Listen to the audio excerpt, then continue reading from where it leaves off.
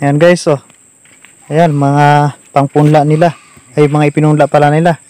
Malaki na, pwede na ilipat. Ayan, si Papa maglilipat na. Siyempre, matulong rin ako at nandito ako ay.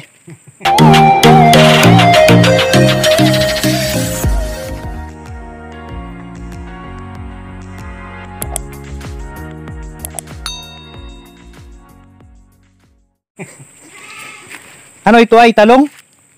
Oh, talong. Ayan, dito guys, so may punda pa sila parang talong dito. Eh, tatangin namin sa yan. Tapos itong yan. mustasa. Mustasa pala itong ipinula nila dito. Sobrang dami. Hindi pa na ililipat. Hmm. May pichay pa dito natitira sila. O, itong ti- tira na lang daw ito. Yung mga naharbisan na ito. Ayan, naharbis na. Siyempre, matulong din ako. Maharbis din ako dyan mamaya. Tapos na ito si Papa, o, nagatanim. Okay. Matulong din ako dito. Ayan. Doon ko sa kabila. Dito ako sa kabila. Doon sa kabila, doon. Yan. Tapatan kita. Ay, isang kami na gamitin ko guys at walang taga-video. isang kamay lang ang gagamitin ko. Ayan oh, mustasa. Mustasa pala ito. Kasimple pagtanim. Ganito lang sila kasimple magtanim dito. Hindi ko na lang apakita yun nasa kabila, taluyos. guys, ito nasa kabila, hindi ko yung apakita guys ha. Ito nasa kaliwa ko guys, apakita ko lang ng kaunti oh, at naluyos. naluyos at sobrang lakas ng init. Init. Sauce. Yan o, magandang hapon. Nandito na ulit kami sa aming munting taniman. Ayan, yung mag-ama ko. Nagtatanim. Tulong muna sa pagtatanim. Nagbakasyon.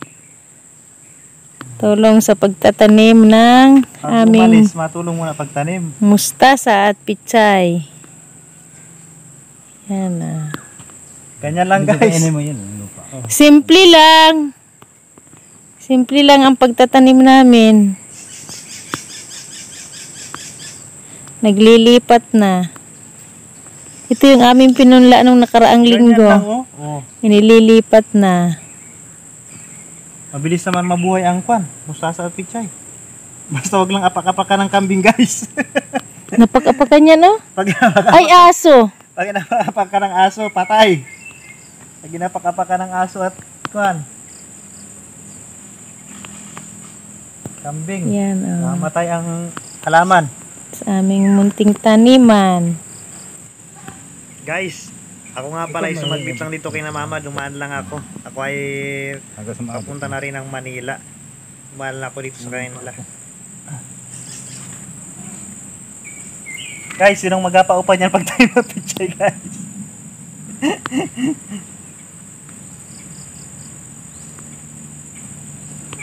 Mga farm na malaki, ganito man.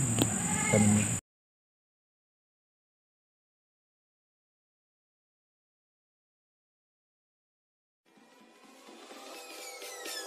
nila. Peace.